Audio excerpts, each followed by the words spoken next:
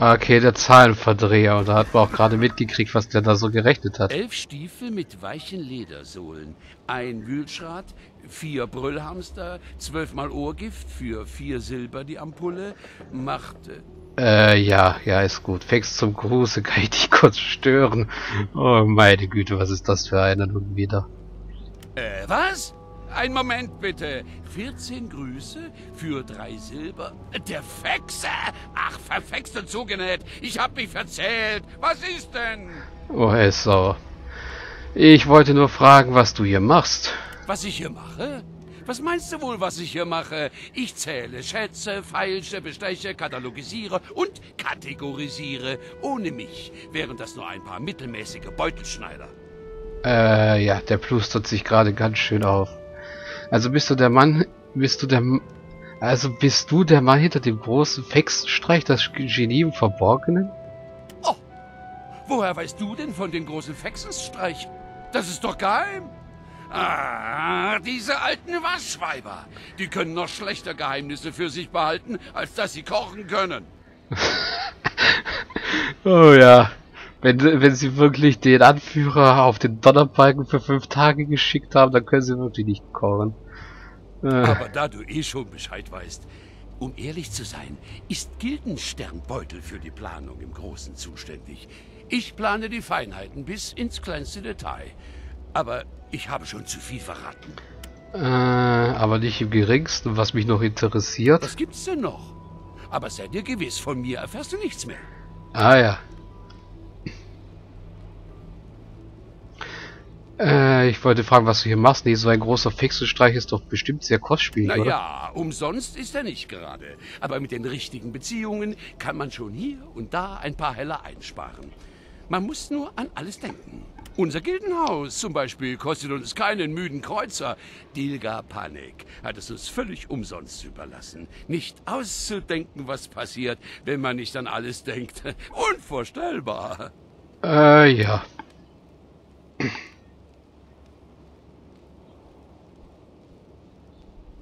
Hast du denn auch an alles gedacht? Natürlich. Ich habe die Wurfhaken, das Öl, die Fischfässer, den, die, die Fluchtkutsche. Äh, bei Fex.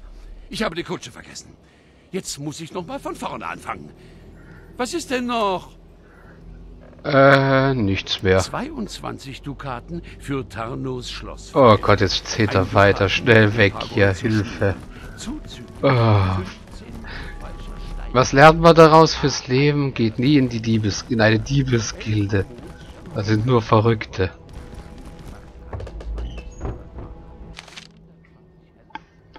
Oh, Zunderschwamm, den können wir für den Ziegenhirten gebrauchen. Und Diamantstaub ist auch wertvoll. Äh, und ja, ich sammle jetzt Zunderschwamm für den Ziegenhirten, weil ich will wissen, was er damit vorhat. Denn da draußen schon wieder so rum? Oh, dürfen wir Diebe nicht einmal jetzt durchschlafen, wo wir schon immer in der Nacht durch Nadoret schleichen müssen? Genau. Äh. Ruhe da draußen. Ach, und du bist besser ganz still da drüben. Oh, äh, naja, schlaf gut. Äh, Diebe schlafen in Schränken. Okay, noch eine neue Weisheit fürs Leben. Und noch eine Handwerkskiste. Was? Wir finden hier so viel Zeug für Vorgrim. Das ist ja toll. Aber ansonsten... Ja, ja, ich bin ja schon weg. Gucken wir mal oben in die Tür rein. Wenn ich jemals hier rauskomme, ersäufe ich diesen Anfänger in seiner eigenen Suppe. Okay. Da sitzt der Typ auf dem Klo und da geht's nicht weiter. Äh, da ist also die der Donnerbalken. Ich wollte jetzt schon Latrine sagen. auf keinen Fall wieder eine ganze Becher voll Feuermoospulver. Und, hi- Daniel Eferdian meinte, es hätte gar nicht so übel geschmeckt. Deshalb hat er ja auch den Fehler und ja genau, wenn man so viel Feuermospulver ins Essen tut, wird das ja höllisch scharf. Okay, und hier unten? Da ist Dilga Panik, über die haben wir ja gerade auch schon was gehört. Aber gucken wir mal kurz, was hier noch ist. Eine Diebin und Gittertüren, die sich nicht öffnen lassen. Und eine Werkbank. Ja, bitte? Okay, die redet ganz freundlich mit uns. Äh, die verkauft was. Gucken wir mal. Sternenhände? Oh, Fingerfertigkeit plus 3, aber ansonsten nicht besonders gut. Oh ja, genau, was trägt Quano? Ah ja, Quano trägt einen eigenen Degen, also brauchen wir auch nichts anderes für Quano. Hm. Dietriche brauchen wir jetzt auch gerade nicht und platzierte Samthandschuhe bringen auch nicht wirklich was Wichtiges. Also können wir das lassen. Äh, wo bin ich? Hier, nochmal ansprechen. Du, bekomm, du bekommst doch bestimmt einiges mit. Hast du irgendwas Interessantes aufgeschnappt? Natürlich. Doch diese Information wird dich fünf Dukaten kosten. Äh, nun gut. Wie ich hörte, gibt es da ein lohnendes Objekt im Nordwesten der Stadt an der Flussgabelung. Im Keller sollen dort noch große Schätze liegen. Im Nordwesten der Stadt an der Flussgabelung. Okay, das danke. Das Problem an der Sache ist, dass der verstorbene Besitzer angeblich den gesamten Keller mit Fallen versehen hat. Wenn du da reingehst. Okay, danke. Du, kann ich sonst noch etwas für dich tun? Äh, nein, danke. Haben wir das als Quest zufällig? Nein, wir haben immer noch die Trolle an der Brücke. Äh, nein. Okay, an der Flussgabelung. Da müssen wir nachher mal gucken, wenn wir wieder rauskommen. Hier haben wir noch sie hier. Guano, was für eine Überraschung. Und du bist nicht allein gekommen. Mit wem habe ich das Vergnügen? Okay, wieder eine, die Guano kennt. Äh, ich Dilga, bin... Das Schmusekätzchen aus festem Traum meiner schlaflosen Nächte. Mach dir keine Sorgen wegen meiner Begleitung. Ich bürge für sie. Ah, das ist aber nett. Ach, Koano, hilfloser Hase. Du konntest noch nie gut lügen. Dennoch, willkommen. Ihr könnt mich Dilga, die Silberfüchsin, nennen. Ah, super. Ach ja, stimmt, der Typ am Eingang hat von dir erzählt. Hilfloser Hase? Und Vorgrim hat was zu lachen. Und verschluckt sich an seinem eigenen Husten. Äh, und wir sind natürlich mal wieder höflich. Es ist mir ein Vergnügen. Ich bin Bueno hier. Willst du einen kleinen Auftrag? Äh, worum geht es denn? Ich würde zu gern wissen, was das neu eingetroffene Schiff am Hafen gerade entlädt. Ein unauffälliger Blick sollte genügen. Äh, ja, das ist ja was Einfaches, solange wir nichts klauen müssen. Okay, einen Blick will ich mal wagen. Vergiss nicht, kein Blutvergießen, keine Auffälligkeiten. Werden die Kisten bewacht, gebraucht ein Köpfchen. Ah, das ist kein Problem für uns. Wir sind ja Geode, uns liegt Blutvergieß nicht. Und dafür habe ich ja auch mein Köpfchen. Was gibt's hier drüben noch? Oh, hier ist ein Ausgang.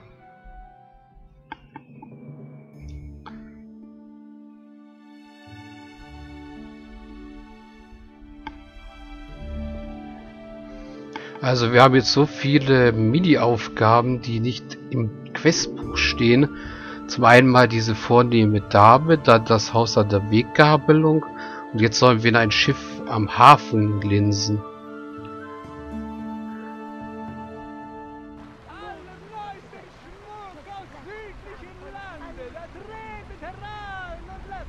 Ach, jetzt sind wir hier unten. Nur hereinspaziert. Vielleicht später.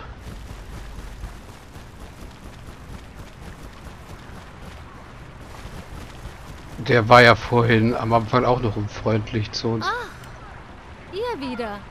Sie ist immer noch mit Hellersammeln beschäftigt. Ja, etwas schleppend. Aber Fex wird das schon richtig.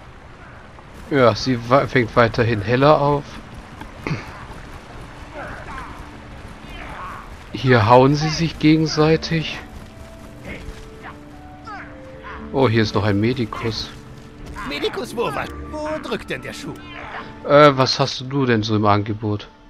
Einen Stachelhandschuh?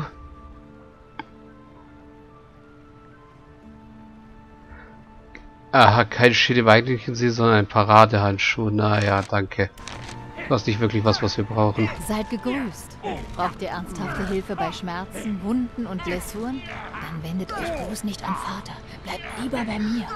Das ist ja ein tolles Familiengeschäft. Äh, nein, heilen tun wollen wir uns gerade nicht. Wir sind ja alle gesund. Und mit dem Wettfuzzi, da wollen wir jetzt gerade auch nicht sprechen. Ich will jetzt erstmal hier raus. Da steht noch was. Achso, das mit dem Blick in die Kiste, das ist ein Quest. Ein neues. Das ist gut. Okay. Jetzt sind wir wieder draußen. Jetzt können wir mal kurz gucken. An der Flussgabelung. Das müsste hier irgendwo sein.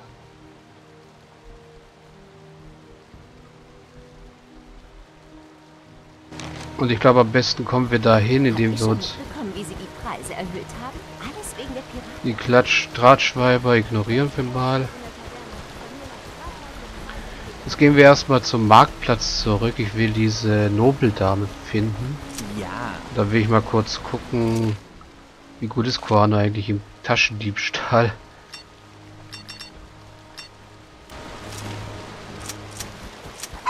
Weil von sowas kann definitiv nicht die Finger lassen.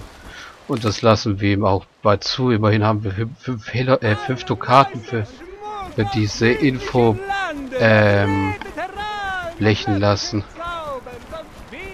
Reicher Städter, reiche Städterin.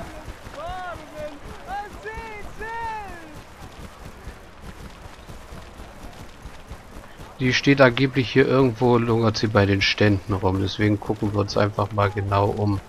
Nach dieser... Nach dieser noblen Dame.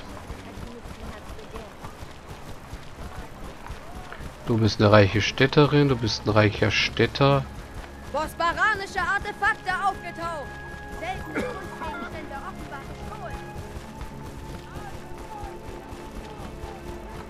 Können wir nochmal dazu befragen? Äh, was? Nein. Können wir leider nicht. Juwelier, Auralia. Hier rumstehen tut sie auch nicht so wirklich. Oder meinte er vielleicht bei den Ständen unten bei der Kaserne? Naja, da können wir auch Oh, du bist ein verwirrter Städter. Hoffentlich wird der Fluss wieder sicher, jetzt wo Angard von Asien... Nein, ich laufe gerade im Kreis irgendwie. Da geht's wieder rein. Bleichmonodeiträger Krötenschäbel, Waffenhändler, Rüstungshändler. Ah, da geht's runter. Da ist ja wieder der Effert-Geweihte. Den ignorieren wir mal. Da ist wieder ein reicher Städter.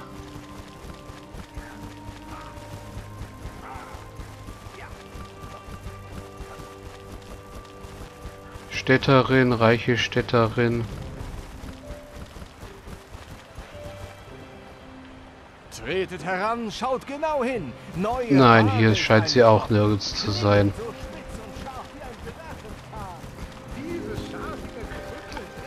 Dann gucken wir uns jetzt mal das Haus an. Sofern wir es denn finden. Es soll angeblich an der Flussgabelung sein.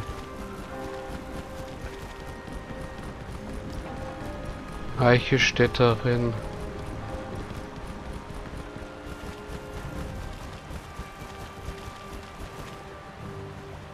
Da drüben stehen Fischer.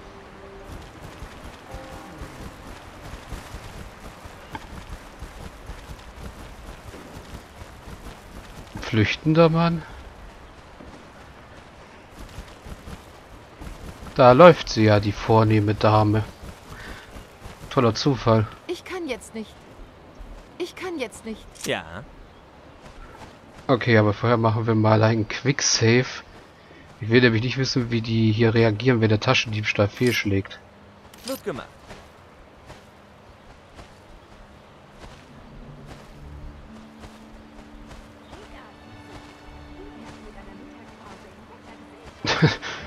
das sieht jetzt zurückig aus, oder?